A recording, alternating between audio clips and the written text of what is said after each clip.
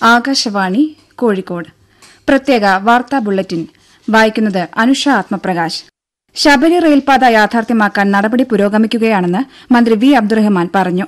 പദ്ധതി സംബന്ധിച്ച് reverse estimate തയ്യാറാക്കാൻ കേന്ദ്രം ആവശ്യപ്പെട്ടിട്ടുണ്ട്. റെയിൽപാതയ്ക്ക് സ്ഥലമേറ്റെടുക്കുന്ന കാര്യത്തിൽ സംസ്ഥാന ഗവൺമെന്റ് ഉറപ്പു നൽകിയതായും മന്ത്രി നിയമസഭയിൽ ചോദ്യോത്തരവേളയിൽ വ്യക്തമാക്കി. പൊതുഗതാഗതം വ്യാപകമാക്കുന്നതിനായാണ് തദ്ദേശ സ്ഥാപനങ്ങളുമായി സഹകരിച്ച് കെഎസ്ആർടിസി ഗ്രാമവണ്ടികൾ നടപ്പിലാക്കാൻ ശ്രമിക്കുന്നതെന്ന് മന്ത്രി ആന്റണി രാജു നിയമസഭയിൽ ചോദ്യോത്തരവേളയിൽ പറഞ്ഞു. ഗ്രാമവണ്ടികൾക്കായി തദ്ദേശ സ്ഥാപനങ്ങൾ കെഎസ്ആർടിസിയുമായി കരാർ ഉണ്ടാക്കണമെന്നും ഇത് വർഷാവർഷം പുതുക്കണമെന്നും മന്ത്രി പറഞ്ഞു. കോവിഡ് സാഹചര്യത്തിൽ യാത്രക്കാർ കുറഞ്ഞതിനാലാണ് ചില റൂട്ടുകളിൽ കെഎസ്ആർടിസി സർവീസുകൾ താൽക്കാലികമായി നിർത്തിവച്ചതെന്ന് മന്ത്രി അറിയിച്ചു. സംസ്ഥാനത്ത് മുഴുവൻ കന്നുകാലികൾക്കും ഇൻഷുറൻസ് പരിരക്ഷ ഉറപ്പാക്കുമെന്ന് മന്ത്രി ജെ ചിഞ്ചുറാണി നിയമസഭയിൽ പറഞ്ഞു. പാൽ പാലുൽപാദന ചെലവ് കുറയ്ക്കുന്നതിന് കാലിത്തീറ്റ പരമാവധി കേരളത്തിൽ തന്നെ ഉൽപ്പാദിപ്പിക്കാനാണ് ശ്രമം നടക്കുന്നതെന്നും മന്ത്രി അറിയിച്ചു. രാജ്യത്ത് പ്രതിദിന കോവിഡ് ബാധിതരുടെ എണ്ണം കുറഞ്ഞു. ഇരുപത്തിയൊന്നായിരത്തി പേർക്കാണ് ഇന്നലെ രോഗം സ്ഥിരീകരിച്ചത്. പേർ രോഗമുക്തരായി. ആകെ രോഗബാധിതർ മൂന്ന് കോടി മുപ്പത്തിരണ്ട് ലക്ഷത്തി ഇരുപത്തിയൊന്നായി രണ്ട് ലക്ഷത്തി നാൽപ്പതിനായിരത്തി പേരാണ് ചികിത്സയിൽ കഴിയുന്നത്. ഇന്നലെ ഇരുന്നൂറ്റി പേർ കോവിഡ് ബാധിച്ച് മരിച്ചു. മരണസംഖ്യ നാല് ലക്ഷത്തി അൻപതിനായിരത്തി രാജ്യത്ത് കോവിഡ് പരിശോധന അൻപത്തിയെട്ട് കോടി നാൽപ്പത്തി മൂവായിരത്തി നൂറ്റി തൊണ്ണൂറിലെത്തിയതായി ഇന്ത്യൻ മെഡിക്കൽ ഗവേഷണ കൌൺസിൽ ന്യൂഡൽഹിയിൽ അറിയിച്ചു. ഇന്നലെ പതിമൂന്ന് ലക്ഷത്തി എൺപത്തി അയ്യായിരത്തി എഴുന്നൂറ്റി ആറ് സാമ്പിളുകളാണ് പരിശോധിച്ചത്. രാജ്യത്ത് ഇതുവരെ തൊണ്ണൂറ്റിമൂന്ന് കോടി പതിനേഴ് ലക്ഷത്തി പതിനേഴായിരത്തി നൂറ്റി തൊണ്ണൂറ്റിയൊന്ന് പേർ കോവിഡ് വാക്സിൻ സ്വീകരിച്ചു. ഇന്നലെ മാത്രം അൻപത് ലക്ഷത്തി പതിനേഴായിരത്തി എഴുന്നൂറ്റി അൻപത്തിമൂന്ന് പേർ വാക്സിൻ സ്വീകരിച്ചതായി കേന്ദ്ര ആരോഗ്യ മന്ത്രാലയം അറിയിച്ചു. സംസ്ഥാനത്ത് ഇന്നലെ പന്ത്രണ്ടായിരത്തി ഇരുന്നൂറ്റി എൺപത്തിയെട്ട് പേർക്ക് കോവിഡ് സ്ഥിരീകരിച്ചു. പതിനയ്യായിരത്തി എണ്ണൂറ്റി എട്ട് പേർ രോഗമുക്തരായി. തൊണ്ണൂറ്റിയൊൻപതിനായിരത്തി മുന്നൂറ്റി പന്ത്രണ്ട് സാമ്പിളുകളാണ് പരിശോധിച്ചത്. എറണാകുളത്താണ് കൂടുതൽ രോഗികൾ ആയിരത്തി എണ്ണൂറ്റി മുപ്പത്തിയൊൻപത് തിരുവനന്തപുരം തൃശൂർ കോഴിക്കോട് ജില്ലകളിൽ ആയിരത്തിന് മുകളിലാണ് കോവിഡ് ബാധിതർ. മറ്റ് ജില്ലകളിൽ ഇതിൽ താഴെയാണ് രോഗബാധിതർ. ഒരു ലക്ഷത്തി പതിനെട്ടായിരത്തി എഴുന്നൂറ്റി നാൽപ്പത്തിനാല് പേരാണ് ചികിത്സയിൽ കഴിയുന്നത്. നൂറ്റി നാൽപ്പത്തിയൊന്ന് മരണം കൂടി സ്ഥിരീകരിച്ചതോടെ ആകെ കോവിഡ് മരണം ഇരുപത്തിയ്യായിരത്തി തൊള്ളായിരത്തി അൻപത്തിരണ്ടായി. പ്രതിവാര രോഗവ്യാപന തോത് പത്തിന് മുകളിലായ മുന്നൂറ്റി മുപ്പത്തിരണ്ട് വാർഡുകളിൽ കർശന നിയന്ത്രണം തുടരുന്നു.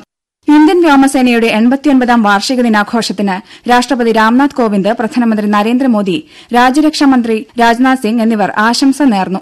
രാവിലെ ഗാസിയാബാദിൽ വ്യോമസേന ആസ്ഥാനത്ത് വ്യോമസേന മേധാവി air chief marshal Vivek Ram Chaudhari പങ്കെടുത്തു. ഗവൺമെന്റ് സേവനങ്ങൾക്ക് അപേക്ഷാ ഫീസ് ഒഴിവാക്കാൻ മന്ത്രിസഭാ യോഗം തീരുമാനിച്ചു.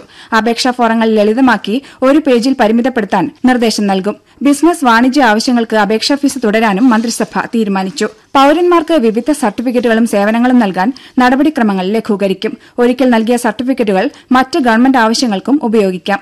വിവിധ ഗവൺമെന്റ് സേവനങ്ങൾ ലഭ്യമാക്കുന്നതിന് രേഖകളും സർട്ടിഫിക്കറ്റുകളും ഗസ്റ്റഡ് ഉദ്യോഗസ്ഥനോ നോട്ടറിയോ സാക്ഷ്യപ്പെടുത്തണമെന്നത് ഒഴിവാക്കി.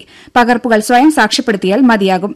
സാമ്പത്തികമായി ദുർബലരായവർക്ക് നൽകുന്ന certificate S C S T വിഭാഗങ്ങൾക്ക് നിയമപ്രകാരം നൽകുന്ന സർട്ടിഫിക്കറ്റ് എന്നിവയിൽ നിലവിലെ രീതി തുടരും. കേരളത്തിൽ ജനിച്ചവർക്ക് ജനന സർട്ടിഫിക്കറ്റോ അഞ്ചു വർഷം സംസ്ഥാനത്തെ വിദ്യാഭ്യാസ സ്ഥാപനത്തിൽ പഠിച്ചതിന്റെ രേഖയോ സത്യപ്രസ്താവനയോ ഉണ്ടെങ്കിൽ അവരെ നേറ്റീവായി പരിഗണിക്കും. കേരളത്തിന് പുറത്ത് ജനിച്ചവർക്ക് നേറ്റിവിറ്റി സർട്ടിഫിക്കറ്റ് വില്ലേജ് ഓഫീസർ തന്നെ നൽകും. അപേക്ഷകന്റെ എസ് ബുക്കിലോ വിദ്യാഭ്യാസ രേഖയിലോ മതം രേഖപ്പെടുത്തിയിട്ടുണ്ടെങ്കിൽ മൈനോറിറ്റി സർട്ടിഫിക്കറ്റ് ആവശ്യമില്ലെന്നും മന്ത്രിസഭ തീരുമാനിച്ചു. ചരക്ക് സേവന നികുതി നടപ്പിലാക്കിയത് മൂലമുണ്ടായ വരുമാന നഷ്ടം നികത്താൻ സംസ്ഥാനങ്ങൾക്കും കേന്ദ്രഭരണ പ്രദേശങ്ങൾക്കും കേന്ദ്ര ഗവൺമെന്റ് നാൽപ്പതിനായിരം കോടി രൂപ കൂടി അനുവദിച്ചു. കേരളത്തിന് രണ്ടായിരത്തി കോടി അൻപത്തിയഞ്ച് ലക്ഷം രൂപ ലഭിക്കും. ഇതുൾപ്പെടെ നടപ്പ് സാമ്പത്തിക വർഷം ഒരു ലക്ഷത്തി പതിനയ്യായിരം കോടി രൂപയാണ് കേന്ദ്രം ജി വരുമാന നഷ്ടം നികത്താൻ അനുവദിച്ചത്. ഖാദി ബോർഡ് വൈസ് ചെയർമാൻ സ്ഥാനം ഏറ്റെടുക്കില്ലെന്ന് ചെറിയാൻ ഫിലിപ്പ് വ്യക്തമാക്കി. അടിയൊഴുക്കുകൾ എന്ന ആധുനിക രാഷ്ട്രീയ ചരിത്ര രചനയിൽ വ്യാപൃതനായതിനാലാണ് ഇതെന്ന് അദ്ദേഹം ഫേസ്ബുക്കിൽ അറിയിച്ചു. ഖാദി വിൽപ്പനയും ചരിത്ര രചനയും ഒരുമിച്ച് നടത്താൻ പ്രയാസമാണെന്നും ചെറിയാൻ ഫിലിപ്പ് പറഞ്ഞു. ശോഭന ജോർജ് രാജിവെച്ച ഒഴിവിൽ ഇന്നലെയാണ് ചെറിയാൻ ഫിലിപ്പിനെ ഖാദി ബോർഡ് വൈസ് ചെയർമാനായി നിയമിച്ചത്. കേരള അഡ്മിനിസ്ട്രേറ്റീവ് സർവീസിലേക്ക് ആദ്യ റാങ്ക് പട്ടിക ഇന്ന് പ്രസിദ്ധീകരിക്കും. അടുത്ത മാസം ഒന്നിന് കേരളപ്പിറവി ദിനത്തിൽ ആദ്യ നിയമന ശുപാർശ നൽകാനാണ് പി എസ് സി തീരുമാനം. ഒരു വർഷമാണ് പട്ടികയുടെ കാലാവധി. നൂറ്റിയഞ്ച് ഒഴിവാണ് റിപ്പോർട്ട് ചെയ്തിരിക്കുന്നത്. സിവിൽ സർവീസ് പരീക്ഷ എഴുതാനെത്തുന്ന ഉദ്യോഗാർത്ഥികൾക്കായി K S R T C മറ്റന്നാൾ കൂടുതൽ സർവീസുകൾ നടത്തും. തിരുവനന്തപുരം കൊച്ചി കോഴിക്കോട് എന്നിവിടങ്ങളിലാണ് പരീക്ഷ. നാളെയും മറ്റന്നാളും പരീക്ഷാ കേന്ദ്രങ്ങൾ റെയിൽവേ സ്റ്റേഷൻ ബസ് സ്റ്റാൻഡ് എന്നിവിടങ്ങളിലേക്ക് വാഹന സൌകര്യം ഒരുക്കുമെന്ന് കെ അറിയിച്ചു. ശബരിമല മണ്ഡല മകരവിളക്ക് തീർത്ഥാടനവുമായി ബന്ധപ്പെട്ട് മുന്നൊരുക്കങ്ങൾ വിലയിരുത്താൻ മന്ത്രി റോഷി അഗസ്റ്റിന്റെ അധ്യക്ഷതയിൽ ഉച്ചകഴിഞ്ഞ് യോഗം ചേരും. പത്തനംതിട്ട കളക്ടറേറ്റിലാണ് യോഗം. K S E B mechanical trial run നടത്തുന്നതിന്റെ ഭാഗമായി മലമ്പുഴ ഡാമിന്റെ പെൻസ്ട്രോക്ക് പൈപ്പ് വഴി അല്പസമയത്തിനകം വെള്ളം തുറന്നുവിടും. ഉച്ചയ്ക്ക് ഒന്നേ മുപ്പത് വരെ മൂന്ന് മണിക്കൂർ നേരത്തേക്കാണ് വെള്ളം തുറന്നുവിടുക. ഡാമിന് താഴെ ഭാരതപ്പുഴയുടെ തീരത്ത് താമസിക്കുന്നവർക്ക് ജാഗ്രതാ നിർദ്ദേശം നൽകി. പാത അറ്റകുറ്റപ്പണി നടക്കുന്നതിനാൽ കണ്ണൂർ എറണാകുളം ഇന്റർസിറ്റി പ്രത്യേക ട്രെയിൻ ഇന്ന് തൃശൂരിൽ നിന്നാണ് പുറപ്പെടുക. ഈ ട്രെയിൻ നാളെ മുതൽ ഈ മാസം മുപ്പത് വരെ ബുധനാഴ്ചകളിൽ ഒഴികെ ദിവസങ്ങളിൽ കണ്ണൂരിനും ഷൊർണൂരിനും ഇടയിലായിരിക്കും service. Alappuzha Kannur intercity special train ഇന്ന് കണ്ണൂരിനും തൃശൂരിനുമിടയിൽ ഓടില്ല. സ്വർണവില വർദ്ധിച്ചു. പവന് എൺപത് രൂപ കൂടി മുപ്പത്തി അയ്യായിരത്തി നൂറ്റി ഇരുപതിലെത്തി. നാലായിരത്തി മുന്നൂറ്റി തൊണ്ണൂറ് രൂപയാണ് ഗ്രാമിന്. ഓഹരി വിപണിയിൽ ഇന്നും നേട്ടത്തോടെ തുടക്കം. സെൻസെക്സ് ഇരുന്നൂറ്റി അറുപത്തിയൊന്ന് പോയിന്റ് ഉയർന്ന് അൻപത്തിയൊൻപതിനായിരത്തി തൊള്ളായിരത്തി മുപ്പത്തിയൊൻപതിലും നിഫ്റ്റി എൺപത്തിയാറ് പോയിന്റ് വർദ്ധിച്ച് പതിനേഴായിരത്തി എണ്ണൂറ്റി എഴുപത്തിയഞ്ചിലുമാണ് വ്യാപാരം ആരംഭിച്ചത്. ആറാമത് സംസ്ഥാന യോഗാസന സ്പോർട്സ് ചാമ്പ്യൻഷിപ്പിന് ഇന്ന് തിരൂരിൽ തുടക്കമാകും. വൈകിട്ട് മുഖ്യമന്ത്രി പിണറായി വിജയൻ ഉദ്ഘാടനം ചെയ്യും. ജില്ലാതലത്തിൽ yogasana artist solo artistic pair rhythmic player free flow professional yogasana മത്സരങ്ങളിൽ ഒന്നും രണ്ടും സ്ഥാനം നേടിയവർക്കാണ് ചാമ്പ്യൻഷിപ്പിൽ പങ്കെടുക്കുന്നത്. ഇരുപത്തെട്ട് വിഭാഗങ്ങളിലാണ് മത്സരം. നാൽപ്പത്തിയാറാമത് ദേശീയ sub junior junior senior yogasana sports ചാമ്പ്യൻഷിപ്പിലേക്കുള്ള സംസ്ഥാന ടീമിനെ ഈ മത്സരങ്ങളിൽ നിന്നും തെരഞ്ഞെടുക്കും. ഞായറാഴ്ച സമാപിക്കും. ഐ പി എൽ ക്രിക്കറ്റിൽ ഇന്ന് അബുദാബിയിൽ മുംബൈ ഇന്ത്യൻ സൺറൈസേഴ്സ് ഹൈദരാബാദിനെ നേരിടും. മറ്റൊരു മത്സരത്തിൽ ദുബായിൽ റോയൽ ചലഞ്ചേഴ്സ് ബാംഗ്ലൂർ ഡൽഹി ക്യാപിറ്റൽസിനെ നേരിടും. ഇന്നലെ രാജസ്ഥാൻ റോയൽസിനെ എൺപത്തിയാറ് റൺസിന് പരാജയപ്പെടുത്തിയ കൊൽക്കത്ത ഏറെക്കുറെ പ്ലേ ഓഫ് ഉറപ്പാക്കി.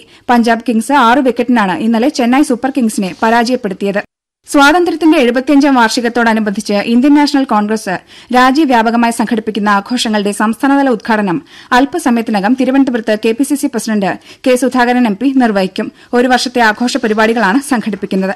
ഗാന്ധിജിയുടെ സ്വപ്നങ്ങൾ സാക്ഷാത്കരിച്ച പ്രധാനമന്ത്രിയാണ് നരേന്ദ്രമോദിയെന്ന് ബി ജെ പി സംസ്ഥാന വൈസ് പ്രസിഡന്റ് ബി ഗോപാലകൃഷ്ണൻ പറഞ്ഞു. സേവാ സമർപ്പൺ അഭിയാന്റെ ഭാഗമായി B J P media cell മലപ്പുറത്ത് നടത്തിയ സെമിനാർ ഉദ്ഘാടനം ചെയ്യുകയായിരുന്നു അദ്ദേഹം.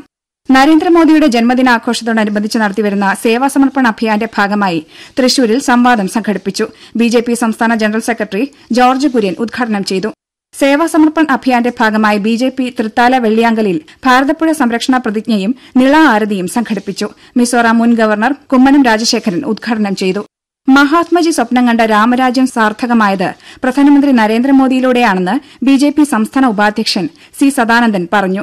കണ്ണൂരിൽ സേവാ സപ്താഹ സമാപനത്തിൽ ഗാന്ധി ദർശനം മോദിയിലൂടെ എന്ന വിഷയത്തിൽ പ്രഭാഷണം നടത്തുകയായിരുന്നു അദ്ദേഹം. രാജ്യത്തിന്റെ എല്ലാ മേഖലകളെയും ഒരുപോലെ വികസനത്തിലേക്ക് നയിച്ച പ്രധാനമന്ത്രിയാണ് നരേന്ദ്രമോദിയെന്ന് ബി ജെ പി സംസ്ഥാന വക്താവ് സന്ദീപ് വാര്യർ പറഞ്ഞു. ബി കോഴിക്കോട് ജില്ലാ കമ്മിറ്റി സംഘടിപ്പിച്ച സെമിനാർ ഉദ്ഘാടനം ചെയ്യുകയായിരുന്നു അദ്ദേഹം. സമഗ്ര നവോത്ഥാനത്തിന് ആത്മീയ സ്വാധീനം അനിവാര്യമാണെന്ന് ധർമ്മഭാരതി മിഷൻ സ്ഥാപക ആചാര്യൻ ആചാര്യശ്രീ പറഞ്ഞു. കൊയിലാണ്ടി മുജുകുന്നിലെ കേളപ്പജി നഗറിൽ മദ്യനിരോധന സമിതിയുടെ കേളപ്പജി സ്മൃതി ഉപവാസ സമരത്തിൽ സംസാരിക്കുകയായിരുന്നു അദ്ദേഹം. വിദ്യയുടെയും ലക്ഷ്മിയുടെയും ശക്തിയുടെയും സമന്വയമാണ് നവരാത്രി പൂജയിലൂടെ സാധിക്കേണ്ടതെന്ന് കൊളത്തൂർ അദ്വൈതാശ്രമം മഠാധിപതി സ്വാമി ചിദാനന്ദപുരി പറഞ്ഞു. കോഴിക്കോട്ട് നവരാത്രി സർഗോത്സവത്തിൽ മുഖ്യപ്രഭാഷണം നടത്തുകയായിരുന്നു അദ്ദേഹം. കൊല്ലം ജില്ലയിലെ വിദ്യാഭ്യാസ സ്ഥാപനങ്ങളിലെ വാഹനങ്ങളും വിദ്യാർത്ഥികളെ കൊണ്ടുപോകുന്ന മറ്റു പൊതുവാഹനങ്ങളും ഈ മാസം ഇരുപതിന് മുൻപ് ഫിറ്റ്നസ് പരിശോധന പൂർത്തിയാക്കി സർട്ടിഫിക്കറ്റ് നേടണമെന്ന് ആർടിഒ അറിയിച്ചു. വാഹനങ്ങളിലെ എല്ലാ ജീവനക്കാരും കോവിഡ് വാക്സിനേഷൻ സ്വീകരിക്കണം. കോഴിക്കോട് കുരുവട്ടൂർ പോലൂരിലെ വീട്ടിൽ അജ്ഞാത ശബ്ദം കേൾക്കുന്നതിന് കാരണം കണ്ടെത്തുന്നതിനായി പ്രദേശത്ത് കേന്ദ്ര ഭൌമ ശാസ്ത്ര ഗവേഷണ കേന്ദ്രം പഠനം ആരംഭിച്ചു. രണ്ടു ദിവസത്തെ പരിശോധനയിൽ ലഭിക്കുന്ന ഡേറ്റകൾ കേന്ദ്ര ഭൌമശാസ്ത്ര ഗവേഷണ കേന്ദ്രത്തിലെ ലാബിൽ പ്രത്യേക സോഫ്റ്റ്വെയറുകൾ ഉപയോഗിച്ച് വിദഗ്ദ്ധ പരിശോധന നടത്തും. പ്രത്യേക വാർത്താ ബുള്ളറ്റിൻ കഴിഞ്ഞു. ഞങ്ങളുടെ വാർത്തകളും വാർത്താധിഷ്ഠിത പരിപാടികളും All India Radio news Calicut എന്ന യൂട്യൂബ് ചാനലിൽ ലഭ്യമാണ്. കൂടുതൽ വാർത്തകൾക്കായി All India Radio news Calicut എന്ന ഫേസ്ബുക്ക് പേജും at A R news underscore Calicut എന്ന ട്വിറ്റർ ഹാൻഡിലും സന്ദർശിക്കുക. വിശദമായ പ്രാദേശിക വാർത്തകൾ ഇനി പന്ത്രണ്ട് മുപ്പതിന് തിരുവനന്തപുരം നിലയത്തിൽ നിന്ന്.